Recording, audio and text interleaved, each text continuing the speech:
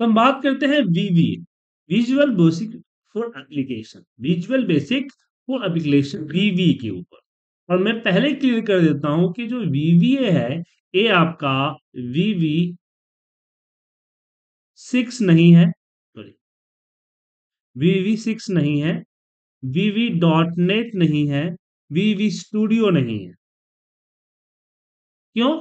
क्योंकि इनकी मदद से हम क्या बनाते हैं? हम बनाते हैं एक सॉफ्टवेयर। बट वीवीए की मदद से एमएस ऑफ़िस के अंदर हम क्या बनाते हैं? मैक्रोज टूल्स इस तरह से हम टूल्स कह सकते हैं। या सिंपल भाषा में कहें कि माइक्रोसॉफ्ट ने आपको एक्सेल दिया एमएस ऑफ़िस दिया। एक्सेल में एक्सेल के अलावा Word PowerPoint Outlook Access ये सारी चीज़ों पे वीवी इस्तेमाल की जा सकती है। तो इनबिल्ट फीचर आपको दिया इनबिल्ट फीचर के अलावा। इनबिल्ट फीचर है, इसके अलावा आपको कोई चीज़ की रिक्वायरमेंट बढ़ गई, जिसके थ्रू जिसके जिसके लिए एक्सेल में कोई ऑप्शन नहीं है है तो लेंदी है तो वीवीए के ज़रिए आप खुद से बना सकते हैं। सिंपल सी बात समझ जाइए कि आप, कोई माइक्रोसॉफ्ट ने माइक्रोसॉफ्ट एक्सेल दिया कि भाई अपना काम करे बट कुछ ऐसे काम है जो एक्सेल में नहीं हो सकते हैं। तो ऐसे काम के लिए आप वीवीए के ज़रिए रिलेटेड टूल्स डेवलप कर।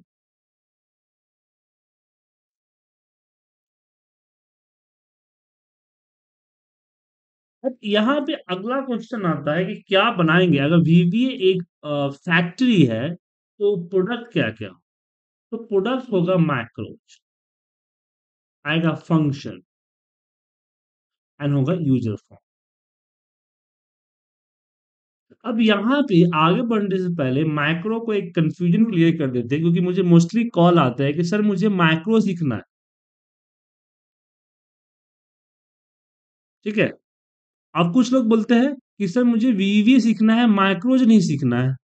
अब उनके ध्यान, जहन में एक छोटी सी कंफ्यूजन आ जाती है कि माइक्रोज का मतलब हुआ जो इन यहाँ पे व्यू के अंदर जो रिकॉर्ड माइक्रो होता है, वो माइक्रो होता है। और जो कोडिंग करते हैं, उसको वीवीए कहते हैं।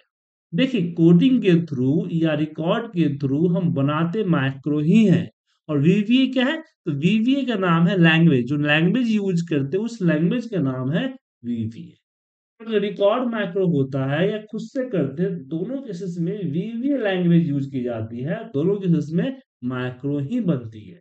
रिकॉर्ड मैक्रो एक ऐसा फीचर है जो आपके माउस एक्शन को कन्वर्ट कर देता है किसमें कोड में। जैसे मैंने आपने यहाँ पे क्लिक किया या कुछ टाइप किया तो इसका जो वीवीए लैंग्वेज कोड होगा? और मतलब ग्राफिकल यूज़र इंटरफेस को कन्वर्ट कर देता है आपके वीवीए लैंग्वेज में ट्रांसलेट कर देता है। समझिए। अब यहाँ पे क्वेश्चन आता है कि सर, जब मेरे पास ऑलरेडी फीचर है कि मैं रिकॉर्ड करके अपना मैक्रो बना सकता हूँ, फिर सीखने का झंझट क्यों? देखिए रिकॉर्डिंग माइक्रो के ज़रिए बहुत ही लिमिटेड टाइप के माइक्रो आप बना सकते हैं। क्योंकि रिकॉर्ड करते समय आपका जो है रेंज डायनेमिक नहीं होता है। आप कंडीशन अप्लाई नहीं कर सकते हैं, आप रिपीटेशन के लिए लूपिंग नहीं कर सकते हैं, आप अदर अदर सिस्टम के साथ कनेक्टिविटी नहीं कर सकते हैं, ऐसे बहुत सारे प्रॉब्लम्स होते हैं, इसलिए रिकॉर्डिंग माइक्रो के ज़रिए आप अपना रिपोर्ट ऑटोमेशन नहीं कर सकते हैं। ये ध्यान रखिएगा। अब बात करते हैं माइक्रोज माइक्रोज होता क्या है? देखिए जब हम कोई प्रोग्राम बनाते हैं तो कोई भी कोड करते हैं तो उसको माइक्रोज में ही कोड करते हैं। मतलब कि जब आपको रन करना होगा तो यहाँ माइक्रोज लिस्ट में आपका माइक्रो जाएगा चाहे रिकॉर्ड किया हो या, या फिर कोड किया हुआ। तो माइक्रो हम कह सकते हैं कि जो भी हम सेट ऑफ़ इंस्ट्रक्शन देते हैं लाइन ऑफ़ उसको माइक्रोज के फॉर्म में देना होता है। उसका नाम माइक्रोज होता है। जैसे मान लीजिए कि मेरा एक काम है। कि मैं एक फ़ाइल ओपन करूँ उसमें से डेटा कॉपी करूँ फिर उस डेटा की समरी क्रिएट करूँ फिर उसमें चार्ट लगाऊँ दूसरे फ़ाइल में सेव करूँ और किसी को मेल करूँ। ये मेरे पास करीब पंद्रह इंस्ट्रक्शंस हैं। अब एक काम मुझे बार-बार करने पड़ते हैं, तो हर इंस्ट्रक्शन का मतलब हर एक एक्शन माउस एक्शन से मुझे यहाँ पे क्लिक किया, तो इसका क्लिक करने का एक लाइन कोड बनेगा कि हाँ, ई रेंज ई1 डॉट सिलेक्ट ऐसे ही जैसे-जैसे अपना माउस का मूव करेंगे, कुछ भी करेंगे एक्शन में हर हर एक्शन का एक लाइन ऑफ़ कोड होगा, उस लाइन ऑफ़ कोड को हम एक मैक्रोज़ के अंदर में डालेंगे। उसका पूरा set of line of code एक मैक्रोज़ कहलाएगा। या फिर सिंपल सी भाषा में भाषा में समझिए कि macros that is autopilot. जैसे प्लेन को फ्लाई करने के लिए ऑटो पायलट पे डालते थे, ऑटो पायलट क्या करता है?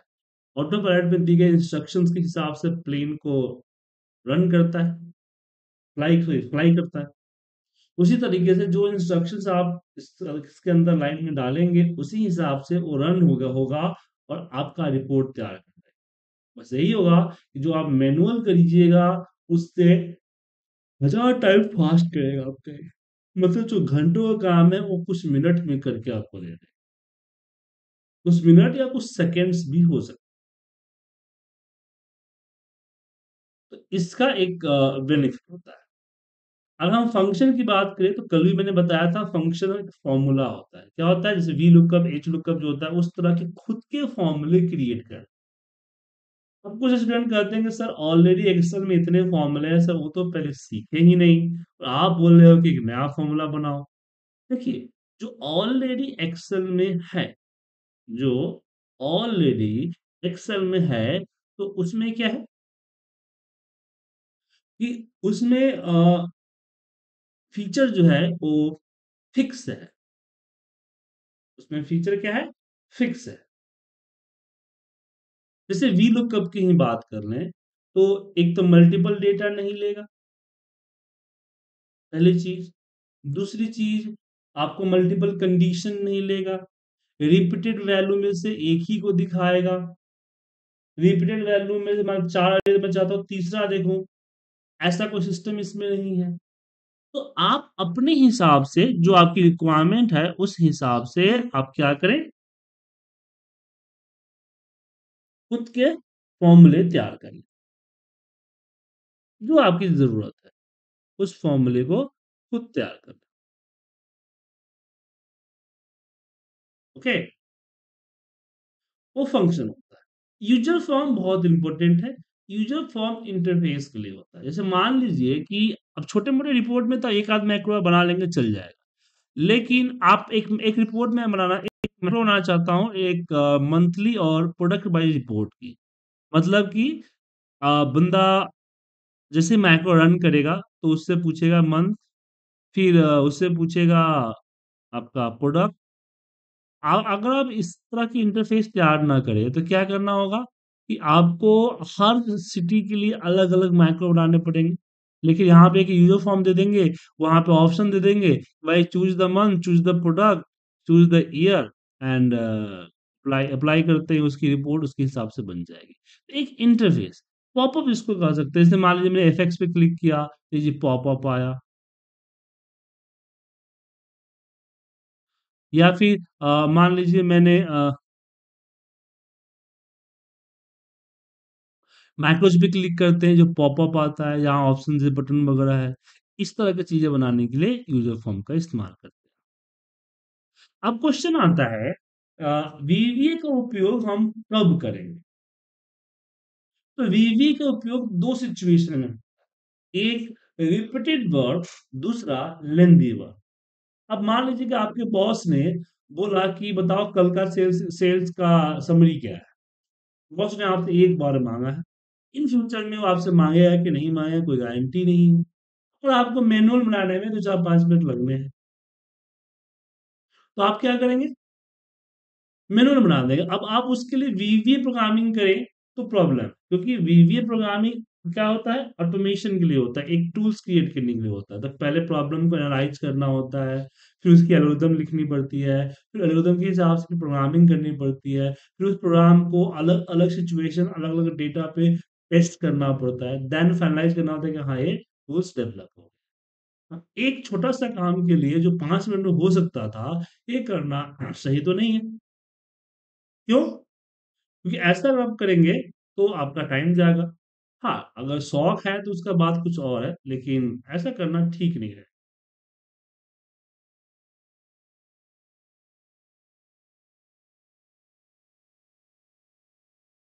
इसलिए हम वीवी का यूज़ करते हैं रिपीटेड वर्क। कि ऐसा काम जो मुझे डेली मुझे मेरा काम डेली है कि मुझे इसको डेली करना है।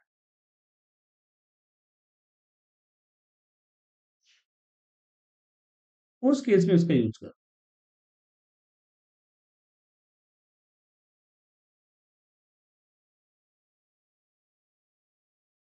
या फिर कुछ ऐसा काम हुआ जो कि काफ़ी ज़्यादा लेंदी है,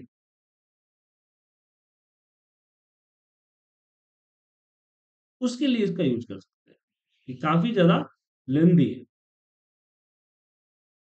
काफ़ी टाइम लगने वाला है, एक ही बार आया है, लेकिन इतना लेंदी है कि काफ़ी टाइम लगेगा। उस केस में हम वीवीए का यूज़ करते हैं। दूसरा आता है किसके लिए? देखिए, आप अपने लिए कर रहे हैं तो कोई प्रॉब्लम नहीं, जब जितना मर्ज़ी उतना कीजिए। बट क्या है ना कि अगर आप किसी और के लिए कर रहे हैं वीवीए का यूज़, तो ध्यान देना। जैसे मान लीजिए किसी 1-2 लोगों के लिए कर रहे हैं तो आप ठीक है। लेकिन ऐसे फ़ाइल जो काफ़ी लोगों को मेल करने वाले हैं, काफ़ी लोगों को भेजने वाले हैं, तो ऐसे फ़ाइल पर अगर माइक्रो यूज़ करेंगे तो एक छोटा-सा प्रॉब्लम हो। देखिए माइक्रो का जो सिक्योरिटी होता है बाय डिफ़ॉल्ट डिसेबल होता है। तो जैसे आपकी फ़ाइल को ओपन करेगा, फ़ाइल ओपन करते ही उससे पूछेगा ना, तो उससे पूछेगा सिक्योरिटी अलर्ट देके अनेबल मैक्रो करने की पॉपअप देगा। अब जो मैक्रो से फ़ैमिलियर हैं, मतलब जो जानते हैं मैक्रो के बारे में, तो अनेबल कर देंगे। लेकिन जो नहीं जानते हैं, बहुत सारे आपके ऑफ़िस में ऐसे स्टाफ़ होंगे जो टेक्निकल गुड नहीं होंगे, उनके उनकी एक्सपर्टीज़ जो है किसी और फ़ील्ड में होगी। अब उनको दीजिएगा तो क्या होगा? वो जैसे फ़ाइल ओपन करेंगे अलर्ट सिक्योरिटी अलर्ट देगा, वो क्लोज़ करके आपको मेल या कॉल करेंगे कि आपकी फ़ाइल में प्रॉब्लम अब 100 लोगों में से में से मान लीजिए 30 लोगों को भी स समझ में नहीं आया, तो आपको मेल और कॉल करेंगे। ये तो प्रॉब्लम क्रिएट हो गई ना। या फिर कई लोग क्या है कि आपके सिस्टम आपकी जो रिपोर्ट फ़ाइल है, उसको वो लोग वेब पे देखते हैं। मतलब कि गूगल सीट पे या मेल पे या मोबाइल पे देखते हैं। तो आपकी जो वीवीए है, वो सिर्फ़ रन होती है डेस्कटॉप वर्ज़न में, बाकी वेब वर्ज़न में ये रन नहीं होता। इसलिए मेरी सजेशन ये है कि आप माइक्रो का यूज़ तभी करें जब बहुत ज़रूरी माने कि फ़र्स्ट प्रायोरिटी आप एक्सेल के फीचर को रखें, अगर उससे काम नहीं बन रहा है तो लास्ट में आप वीवीए इस्तेमाल करें। इसका पूरा ध्यान रखिएगा ना तो बहुत आगे चल के बहुत प्रॉब्लम होगा। अब हम बात करेंगे कि वीवीए प्रोग्रामिंग यूज़ करने से पहले हम अपने सिस्टम को कैसे प्रिपेयर करें, क्या-क्या चीज़ें करना हो। सबसे पहले तो आपका डेवलपर टैब होना चाहिए। अगर डेवलपर टैब नहीं है, तो फ़ाइल के अंदर ऑप्शंस में कस्टमाइज़्ड इवन के अंदर यहाँ होता है डेवलपर टैब। अब इस पे क्लिक कीजिए, क्लिक करते ही आपका डेवलपर टैब ओपन हो जाएगा। यहाँ पे आ जाएगा। क्यों चाहिए डेवलपर टैब? नेविगेशन के लिए। जैसे कि आप विजुअल बेसिक पे जा सके, माइक्रोज रन कर सके, यहाँ पे बटन्स वगैरह है वो इस्तेमाल कर सके अगर मान लीजिए आपका इसमें चला गया है, डिज़ाइन मोड में चला गया है तो उसको हटाना, ये सब चीज़ें यूज़ करते हैं। डेवलपर टैब होना चाहिए। दूसरा, आपकी जो माइक्रो सिक्योरिटी है, उसको अनेबल करना। जैसे मैंने अभी भी बताया कि माइक्रो सिक्योरिटी डिसेबल होता है, तो उसको यहाँ से अनेबल करना। बट ध्यान रखिएगा क्योंकि यहाँ पे माइक्रोसॉफ्ट क्लियर कर रहा है not recommended potentially dangerous code can run so अगर आप रन करते हैं तो अननोन सोर्स से आ गई माइक्रोफाइल को डायरेक्ट ओपन करने से अवॉइड करें तो कैसे पता चलेगा कि इसके अंदर माइक्रो है, वो पता चलेगा एक्सटेंशन से। अगर आपके पास डॉट एक्सएलएस एक्स आया है, इसका मतलब है कि सिर्फ़ डेटा होगा ये वर्ज ये जो एक्सटेंशन है फ़ाइल का, वो किसी भी तरह का कोड को कैरी नहीं करता है। लेकिन अगर डॉट एक्सएलएस एम आए तो ये आपका डेटा भी कैरी करता है और आपका कोड भी कैरी करता है। और एक आता है डॉट एक्सएलएस ए, जो कि सिर्फ़ कोड कैरी करता है डेटा कैरी नहीं करता। तो एक्सएलएस एक्स के अलावा आपके पास अगर एक्सएलएस एम एक्सएलएस ए जैसे फ़ाइल टाइप आ रहे हैं तो आप क्या करें? अननोन सोर्स से है एक तो अवॉइड करें ओपन कर लेकिन ओपन करना ज़रूरी है और अननोन सोर्स है तो आप अपने डेवलपर टैब में यहाँ पे डिज़ाइन वाला जो पार्ट है तो डिज़ाइन फॉर्म में करना पड़ेगा डिज़ाइन मोड बट कैसे करें डिज़ाइन मोड में? यहाँ तो अनेबल डिसेबल है। देखिए डिज़ाइन मोड में करने के लिए आपको जाना होगा विजुअल बेसिक में। यहाँ आपको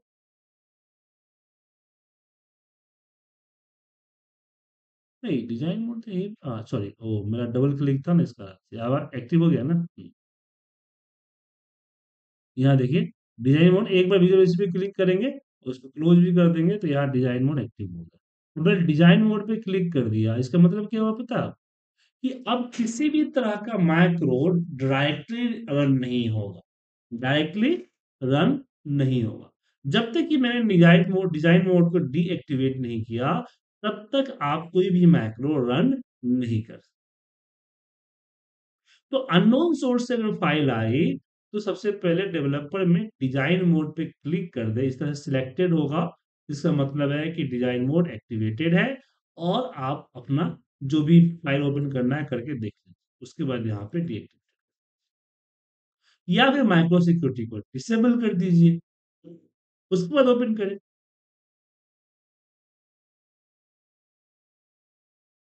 माइक्रो सेटिंग को डिसेबल कर एंड तीसरा जो आता है ये ये दो चीज़ें जो है आपको डेवलपर टैब लाना माइक्रो सिक्योरिटी को एनेबल करना, ये दो चीज़ें तो आपको एक बार में कर चाहिए लेकिन एक चीज़ आपको हमेशा करना अपने फ़ाइल को सेव करना। तो बोले सेव करना कौन सी बड़ी बात है?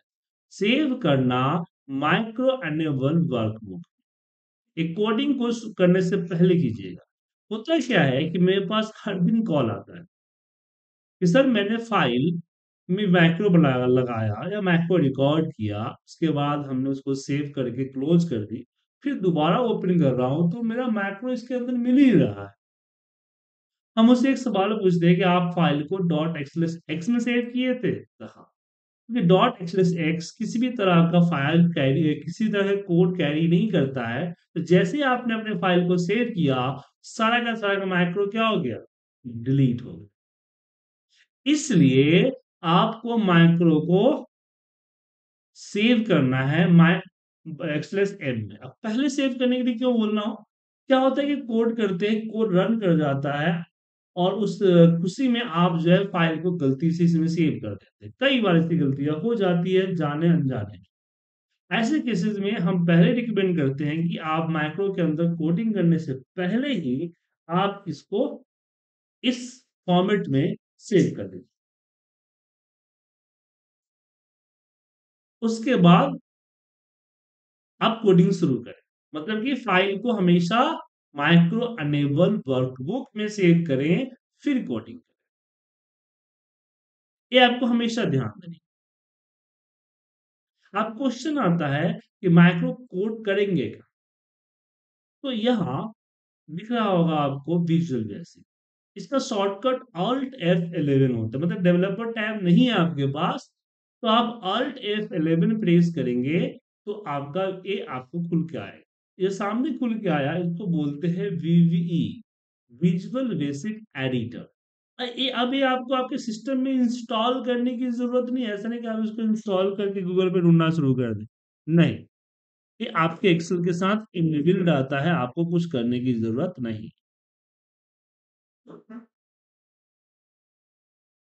अब यहाँ पे बात आती है कि आपको दो चीज़ दो तीन चीज़ें चाहिए होगा। एक तो यह प्रोजेक्ट एक्सप्लोरर जो दिख रहा है, ये चाहिए। इससे आपने फ़ाइल के नेविगेशन करोगे, किस फ़ाइल के अंदर हम सेव करेंगे अपना माइक्रो को, किसमें क्रिएट करेंगे तो ये आपको चाहिए होगा। अगर ये दो, ये आपका प्रॉपर्टी बार है, अगर दोनों नहीं है तो यहाँ व्यू के अंदर ये देखिए आपको, इसका शॉर्टकट भी आपको दिख रहा होगा।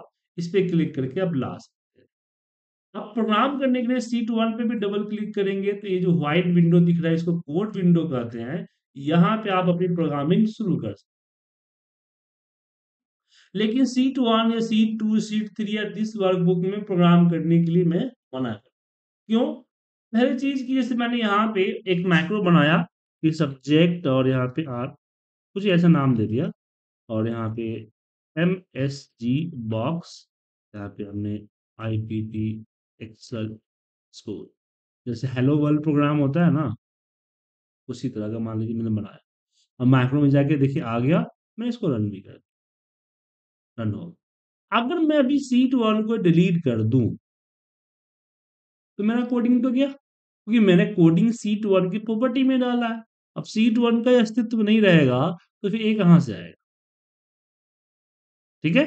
इसलिए हम अवॉइड करेंगे तो दूसरा कारण ये भी होता है कि अगर ऐसा करते हैं तो दूसरे किसी बात से वर्क नहीं कर पाएगा मतलब कि दूसरे फ़ाइल से नेविगेट नेविगेट नहीं कर पाए, कुछ लेना होना है तो आप नहीं ले पाए। इसलिए आप अवॉइड फिर इंसर्ट कीजिए इसको। इंसर्ट में एक मॉड्यूल होता है। तो जो भी प्रोग्रामिंग करनी है आपको मॉड्यूल्स में कीजिए। मॉड्यूल्स भी फ़ाइल की प्रॉपर्टी में सेव होते हैं। दूसरी चीज़ फ़ाइल के साथ ही रहता है और दूसरा जब भी आ, किसी फ़ाइल अदर अदर फ़ाइल से या अदर शीट से आप नेविगेट करते हैं वहाँ से डेटा लेना या कुछ करते हैं तो आसानी से हो जाता है। तो बारी आती है कि कैसे करें प्रोग्रामिंग तो प्रोग्रामिंग के लिए सबसे पहले आपको माइक्रो डिक्लेयर करने पड़ेंगे। कैसे माइक्रो डिक्लेयर होता है? ऐसे इंसर्ट में प्रोसीजर नाम का ऑप्शन है। यहाँ भी जाके माइक्रो नेम देके ओके करेंगे। जैसे यहाँ पे दीदी करके ओके किया तो माइक्रो नेम डिक्लेयर होगा ये डायरेक्टली आप लिख दीजिए कि सब सब फॉर सब्जेक्ट इसी तरह का माइक्रो नेम जैसे मैं लिख दिया test bracket open close enter press कर। एंटर प्रेस करते ही आप देखिए यहाँ पे टेस्ट आ गया और आप जाएँगे एक्सेल के माइक्रोज में तो टेस्ट नाम का माइक्रोज दिख जाएगा। अब इसके अंदर जो भी लिखना लिखेंगे। लेकिन माइक्रो नेम देते समय ध्यान रखिएगा कि माइक्रो नेम में किसी भी तरह का स्पेस या special character dot dash plus minus ऐसी चीज़ें एक्सेप्ट नहीं करेगा। हाँ अगर आपको ज़रूरत है तो आप क्या करेंगे? अंडरस्कोर लगा सकते हैं। सिर्फ़ अंडरस्कोर लेकिन अगर मैं इसी को करें सब्जेक्ट राज वन। या देव वन या रोय वन तो ये माइक्रो नेम एक्सेप्ट नहीं करेगा। संजय गांधी जी क्यों क्या रीजन है कि ये एक्सेप्ट नहीं करेगा? Raj one Dev one Roy one जैसे नाम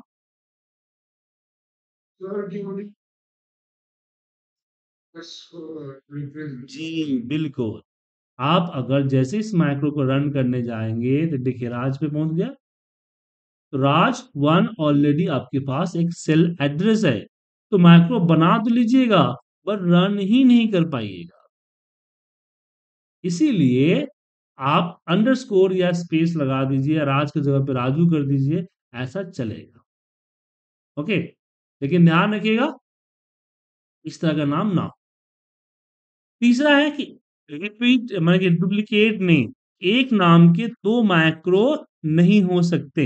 एक नाम के दो माइक्रो बिल्कुल नहीं हो सकते। इसका भी ध्यान आप रखिएगा।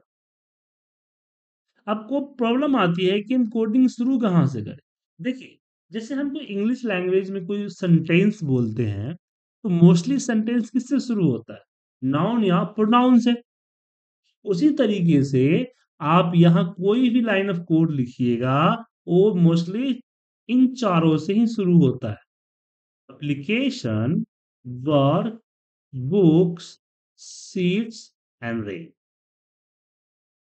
इसको बोला जाता है ऑब्जेक्ट अगर मान लीजिए जो आप लाइन ऑफ़ कोड लिखने वाले हैं, वो एक एप्लीकेशन को इफ़ेक्ट कर रहा है एप्लीकेशन एक्सेल फ़ाइल को नहीं, पूरी एप्लीकेशन को इफ़ेक्ट कर रहा है, जैसे कि डिस्प्ले अलर्ट को डिसेबल करना या कट को भी मोड को फॉल्स करना, ऐसे जो पार्ट जो किसी फ़ाइल से नहीं, एक एप्लीकेशन का फीचर रखते हैं तो उस केस में हम एप्लीकेशन से शुरू करते हैं। कोई फ़ाइल पे काम करे तो फ़ाइल को ओपन करना फ़ाइल क्लोज करना फ़ाइल को सेव सेव एज करना फ़ाइल क्रिएट करना, वो हमेशा वर्कबुक से होता है। सीट जैसे सीट इंसर्ट करना सीट डिलीट करना सीट रिनेम करना सीट हाइड अनहाइड करना तो जो सीट से होने वाले चीज़ें हैं, वो हम सीट से शुरू करते हैं। रेंज जो कि जैसे कि A one V one C one पे जो भी कुछ होता है मतलब रेंज जो आपका सेल है, किसी सेल एक या एक से ज़्यादा किसी सेल पे कुछ होता है, उस ऐसे कोड को स्टार्ट हम रेंज से करते हैं। तो ये चार मेन ऑब्जेक्ट होता है। आशा है कि आप लोग मेरी बात को समझ रहे होंगे। मनोज जी, दीपक जी, चंद्रशेखर जी, समझ में आ रही है मेरी बात? कुछ कंफ्यूजन तो नहीं हो रहा है ना? चलिए अब बारी आती है कि थोड़ी सी खुद की तैयारी करने समझ गए?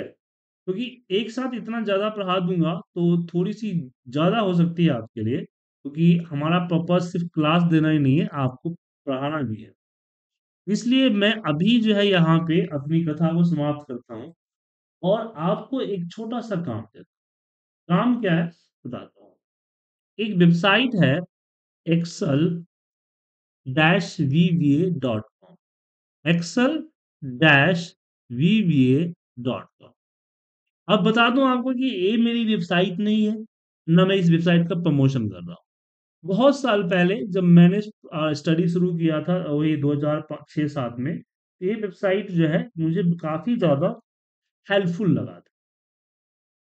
तो उस समय इंटरनेट पे गूगल पे उतना कंटेंट होते नहीं थे। यूट्यूब उतना फ़ेमस हुआ नहीं था और यूट्यूब पे कंटेंट मिलते भी नहीं। उस केस में ये वेबसाइट मेरा काफ़ी ज़्यादा हेल्पफुल हुआ था और आज भी ये वेबसाइट बहुत ज़्यादा इन्फॉर्मेटिव है। इसमें पिक्चर्स के साथ इमेजेस के साथ आपको क्लियरली समझाया गया है। तो आपको जो है समझने में आसानी होती है। तो आप जो है इस वेबसाइट को अच्छे से पढ़ सकते हैं। तो इसकी लिंक मैं आप लोगों को भेज देता हूँ। ऐसे सिंपल है Excel dash V dot com तो आप जो है तसल्ली से इस वेबसाइट को अच्छे से पढ़िए। ठीक है? और फिर कल जो है हम इससे आगे शुरू करेंगे। तो कल हम बात करेंगे रिकॉर्डिंग माइक्रो के। ये जो रिकॉर्डिंग माइक्रो का फीचर्स है वो और क्या क्या कर सकता है, उसकी किस तरह से हम हेल्प ले सकते हैं, हमारे लर्निंग में किस तरह से ऐसा हमें सहयोग करेगा, वो सारी चीज़ें हम आपको बता दें। आज बैच ग्रुप हम बना देंगे, उस बैच ग्रुप में आप लोगों को ऐड कर दूँगा।